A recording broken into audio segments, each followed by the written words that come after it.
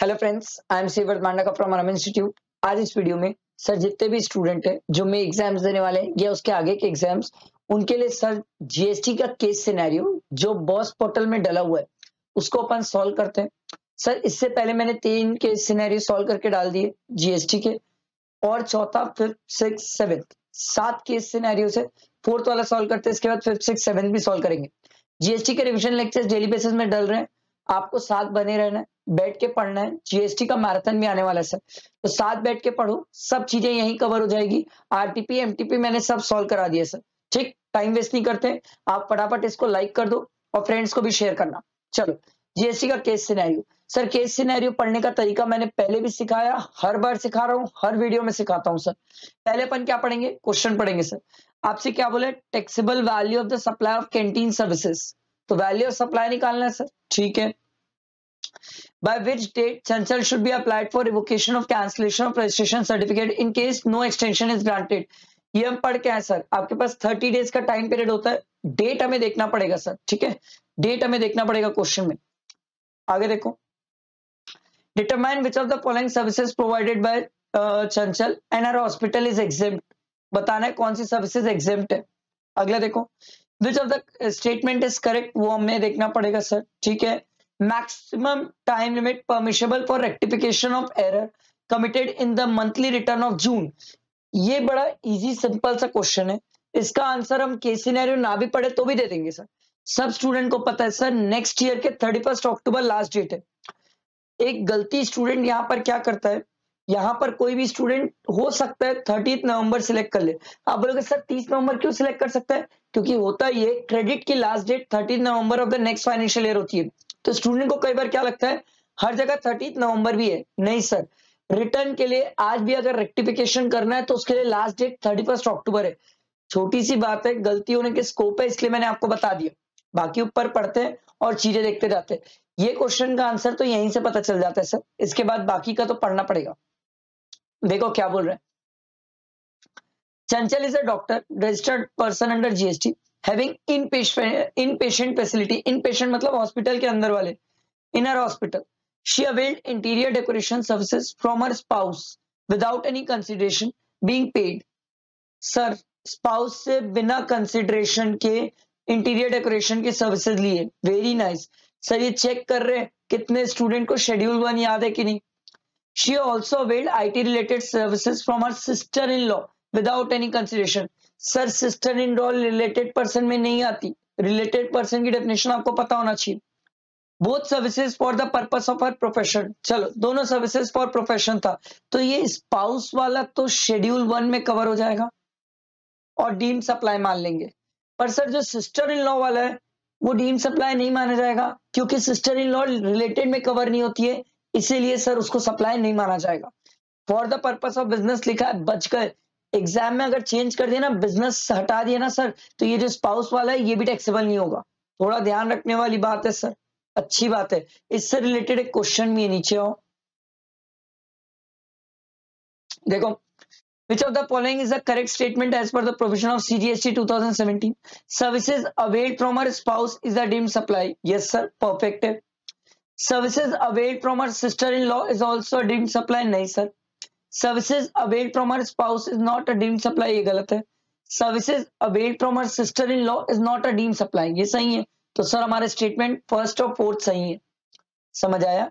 आगे बढ़ते किस सिनेरियो आगे पढ़ते।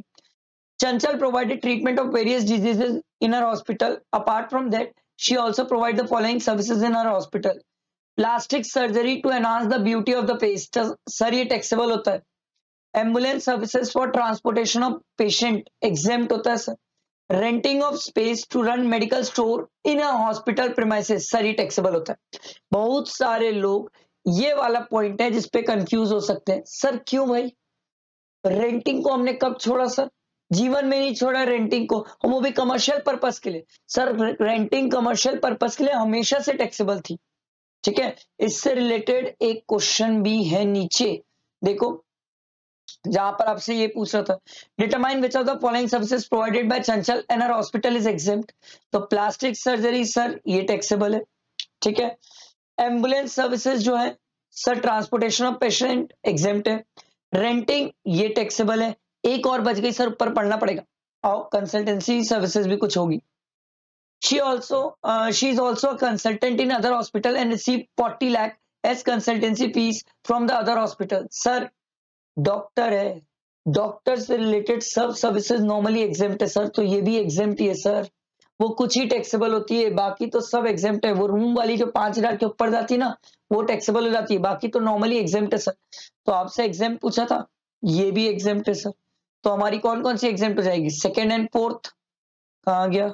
ये ऑप्शन सेकेंड एंड फोर्थ समझ आया, सर? सिंपल तरीका सिखा रहा हूँ, केस सिनेरियो करने का, इतने आसान तरीके से बता रहा हूँ, सर। ध्यान देते रहो ऐसे ही हो जाएगा। उसके बाद आगे देखो। Further she also provided canteen facility and receive fifty five thousand from in patient sir in patient exempt होती है canteen services thirty five thousand from patient हुआ नॉट एडमिटेड सर ये टेक्सेबल होता है, जो एडमिटेड नहीं है। And twenty five thousand from visitor for the same facility कुछ लोग देखने आ रहे पेशेंट को। उनको भी कैंटीन फैसिलिटी गई, दी गई तो वो टैक्सेबल है सर तो एक क्वेश्चन था सर देखो compute the taxable value supply of canteen services provided by Chanchal तो सर दो ही तो टैक्सेबल है.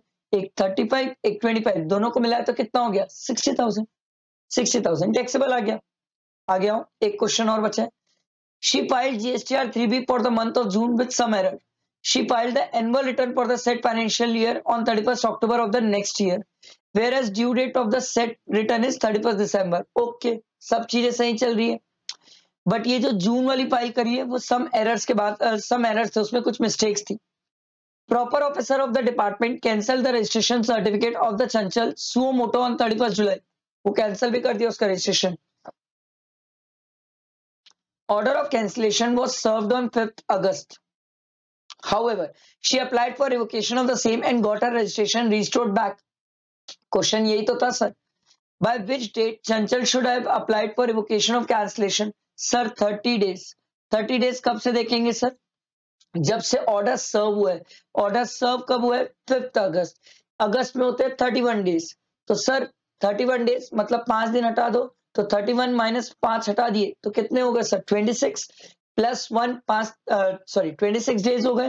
प्लस फिर अगस्त हो गया, ये सितंबर में सितंबर में चार दिन थर्टी डेज़ देखने हैं ना सर टोटल समझ रहे हो ना? सर अगस्त में ट्वेंटी सिक्स डेज़ बचे प्लस सितंबर के चार तो हो गए सर फोर्थ सितंबर हमारी डेट आ गई सर समझ आया?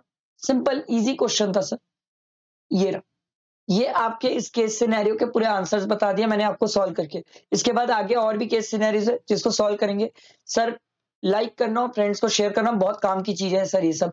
छोटी छोटी चीज़ें ध्यान से सुन के एग्ज़ाम में याद रहती है बहुत काम आती है सर ये एग्ज़ाम में। ठीक है? चलो थैंक यू फ्रेंड्स